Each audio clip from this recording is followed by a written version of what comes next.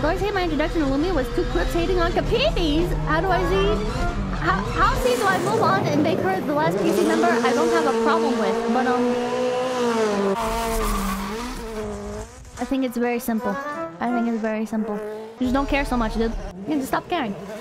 It's not a big deal. I feel like because like from an audience perspective, you know, like if you've if you've been in like more rowdy audiences, like you're you're probably used to it, right?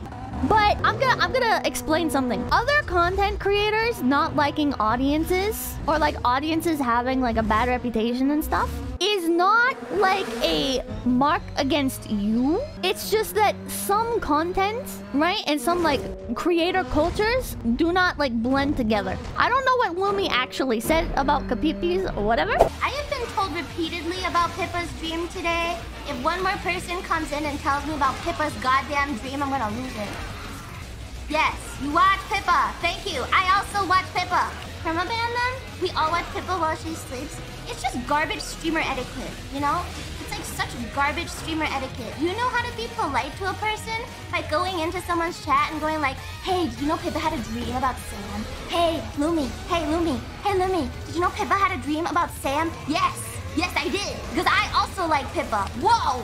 Thank you for saying what we were all thinking. It's such garbage streamer etiquette.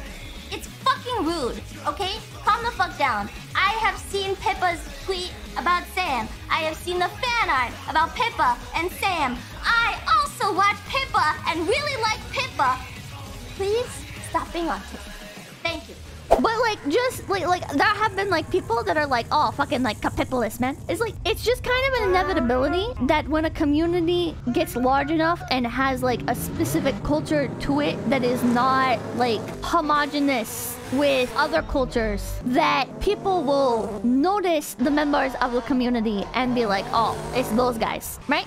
And this isn't like a me exclusive thing. There's a lot of content creators where it's like like the most notable, like notorious example that I can think of is like like Dreams fan base, right? You guys see like Dreams fan base, they have like their very own specific culture, and that doesn't it can transfer over fine to other Minecraft YouTubers that are in kind of like the same sphere, but it doesn't transfer over to like every Minecraft YouTuber, you know what I mean? And it's just kind of something that you just have to get over and deal with and don't place too much personal identity on being a fan of somebody. You know, just enjoy, if you enjoy people's content, you enjoy people's content. If somebody's like, I don't like this streamer's chat, you know, then just don't act like you're part of that streamer's chat when you're in somebody else's chat, you know? When in Rome. You gotta adapt to other people and stuff.